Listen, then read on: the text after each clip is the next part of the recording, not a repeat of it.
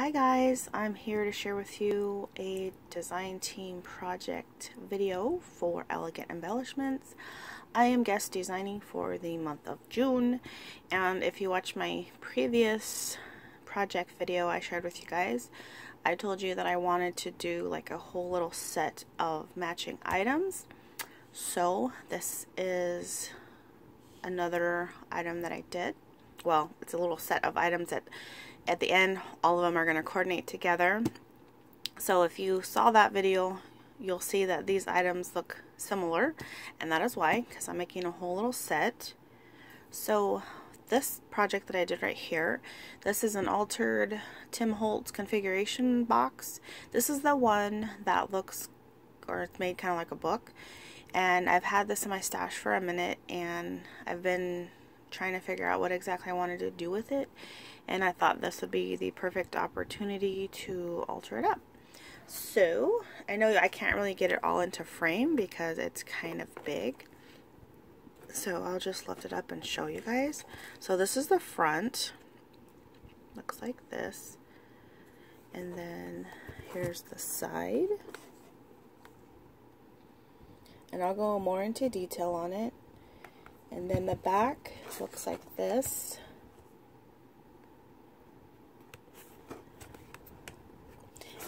and it's funny because I noticed um, when I was doing this I did this upside down. So I have to fix that. I was just laughing at myself when I saw that. So um, I'll go ahead show you guys or explain what I did on the outside and then I will show you guys the inside. So what I did here I'm going to turn this sideways so you guys can get kind of a better view so if you guys have seen the Tim Holtz items, you know they come in like that kind of khaki brown color. I'm not really a fan of that color. Um, but anyways, I was going to alter it, so I guess it didn't really matter. But I went ahead and I sponge painted the whole box. Um, if you guys saw the clock that I showed you, I did the same thing I did with that on here. Um, which is funny because I took all the time to do it and then I covered a lot of it up. But that's why I left the back blank because I wanted to show some of the paint. So I just left the back with no paper covering it. So I painted the whole box. Then I added this mermaid paper. I know it's unicorns but I just like the color and I just you know mermaid and unicorn I'm like you know to me it goes together. So um, I covered the front and I wanted to have a little bit of a border as you can see so you can still see the paint around it so I did that. And then the next thing I did here was I added this trim and it goes all the way down, but obviously I ended up covering it up. And then um, I wanted to use again the same kind of items that I used on the other projects. So I used some of the same flowers and stuff. So I just made this whole cluster of flowers that are all from my stash. And this is a handmade flower with the bling center that was gifted to me. And then I used some of the little shaker pieces as embellishments So you can see they're tucked in. There's the white one or clear one, the uh, multicolor stars, the green gem ones, and then the pink stars. So I just tucked those in. I think they look really cute. A nice little uh, something different that you know you don't really see because like I mentioned before like I've never seen anybody carry stuff like these. So I just really like those and thought they would be perfect just sticking out of the flower clusters. And then here at the top I used this heart resin charm. It did have a little hook but I took it out and I just added it to the top here. I think these are so cute. Um, so yeah I just wanted to add it to the top and then here on this little piece, I added this ribbon to keep this closed, kind of like just a little, you know, tie closure. Added this heart from my stash, and then this is one of the little charms that was from the unicorn kit. Super cute. I just added it on there because I wanted to have a little something extra there. And then here at the side, what I did was I took two different trims. I'll show you guys. So there's this ruffle trim right here and I put that one down and then I added this other trim here on top of it. Just thought it was pretty. And then what I did with the last project that was the shaker heart with the little unicorn, I had these little dangles from the bottom. So to tie it in together, I decided to do that from the side of the book here, but I did add a little bit of extra pieces. Um, so here at the top, I did the first dangle is one of the unicorn charms. Right here at the very top and they're all on their own separate little ribbon. And then as you go down they get longer. And so I added a clear one again a pink one with stars. And then there's one of the unicorn charms here. And then there's the gem one and so you can see they just hang. And it I thought it looked kind of neat like you know when you have those bookmarks that have like the little tassels and stuff on them and they kind of just hang out of your book? That was kind of the look that I wanted to go for here like if there was a bookmark on this faux book. Um, so the end pieces would be hanging out. So that's how I did that and it just sits there and I just think it looks really cute. I know it's kind of hard to get that into frame but I really like the way that it looks so there's that part and then when you untie it and you open it up, this is what the inside looks like. So right here, again, I just took um, a piece of paper and covered it up here. I know, covered up all my painting, but that's okay. So I put that there. And then here on the configuration part, again, I took all the boxes out, painted them, and then when I put them back in, I glued them down so they wouldn't come out. And um, so this is the bottom one which is the biggest. And I did back all of the boxes with the same mermaid paper. And then this little saying right here was from the stack of paper. So I just added a bunch of flowers and then these little beads right here are from the kit and then I also tucked one in right here so um, this one, these are so neat. They actually do have like the real blings inside. I just thought those were so pretty and I love, of course, you know, anything blingy. So I just tucked those in and then um, just went around with some trims and stuff and added some little hearts. And then here in the middle part, I added this charm right here. Now again, if you saw my clock, this was the one I had hanging from the center. But on this one, I just cut the little loop off that was on the top. And then on the clock, I also added a little bow here at the bottom. So like, you know, I wanted these to coordinate together. So I went ahead and put one here too.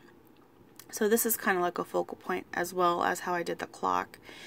Um, so I added that and then right here you can see there's a little multicolored um, star shaker charm that's from the shaker kit. And then over here is another uh, this is a white enamel unicorn charm that I just stuck in there I think is really cute.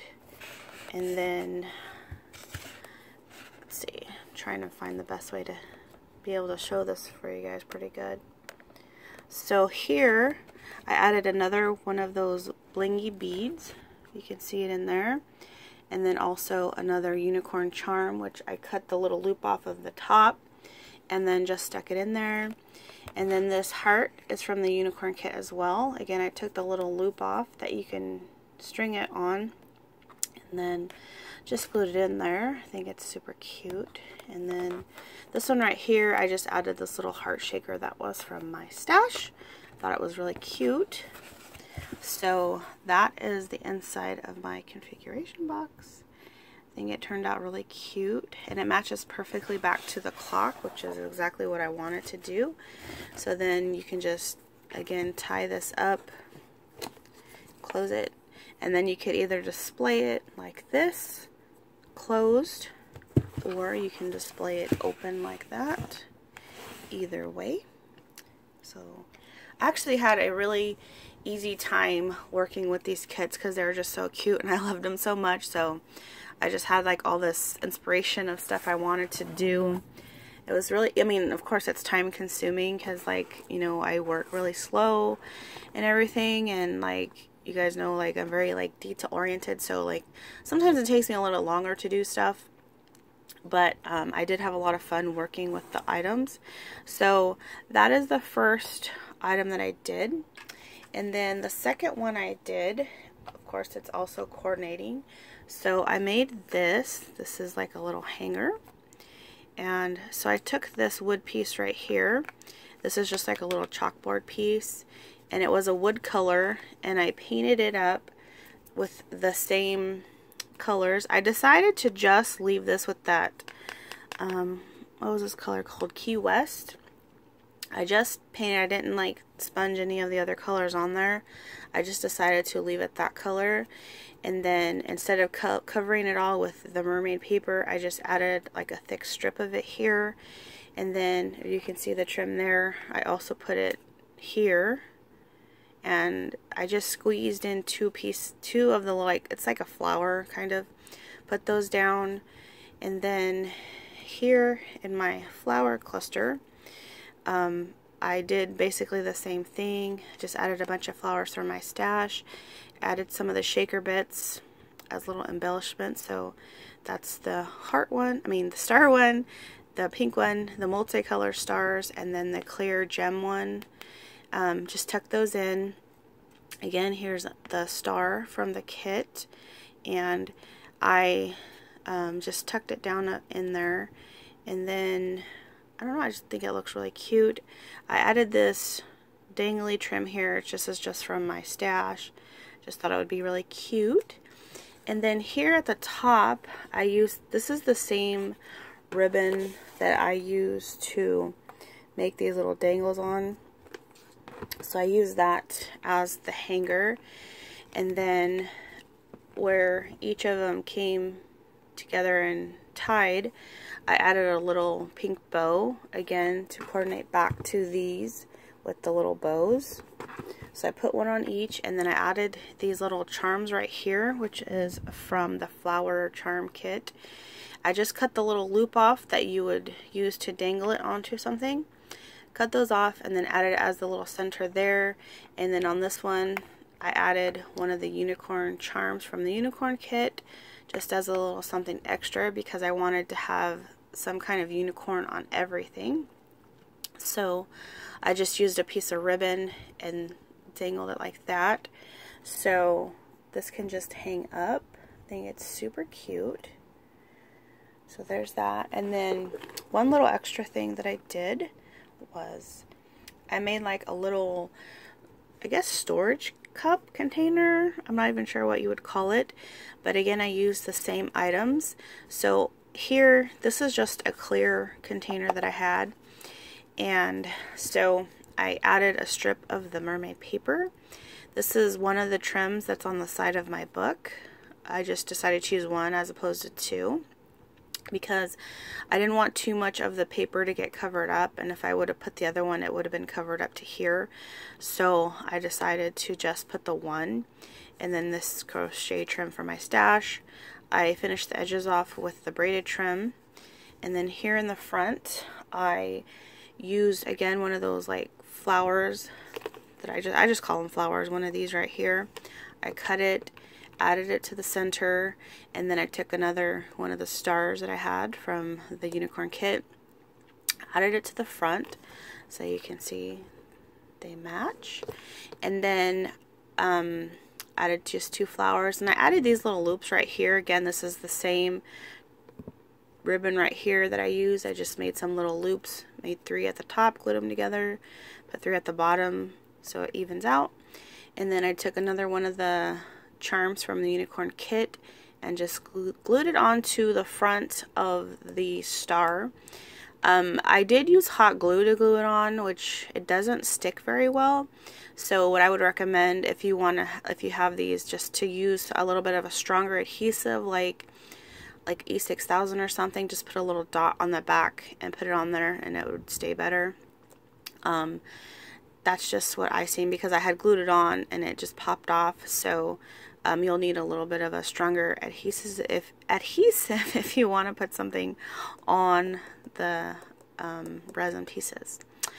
And so this basically can just hold little things, like you could put it on your desk and whatnot, like you could use it for pens if you want, or you could put your little tools in it, or like a little cutter, you know, just to, it would be really cute just sitting on your desk or something. So I just thought that would be really cute to go with it. So guys, that is my other projects that I did. So um, again, as with my last video, I'm going to be doing a giveaway. So if you watch this far, you are getting uh, the inside scoop, I guess. I don't know. so make sure you leave a comment on this video. Make sure you're a subscriber. And maybe you can leave me any comment but if you want to let me know which either um, project was your favorite out of these or which project was your favorite out of all five projects that I showed you. And uh, I will be doing the, the, giveaway and I'm not sure yet when the when I'm going to do the winner. Um, so just keep posted for that but as always, I you know I'd love to hear your guys' opinions on my projects, what you liked and whatnot. Um, and again, make sure you guys check out Elegant Embellishments. I will have all that information in the description box below. Um, there is new kits up, different ones, and there are going to be new kits listed. So just make sure you guys go check it out because I told you guys before that those kits come in and they sell it right away. So if you want to get in on it, you need to move because they will be gone. So, thank you guys for watching, and I will see you next time. Bye.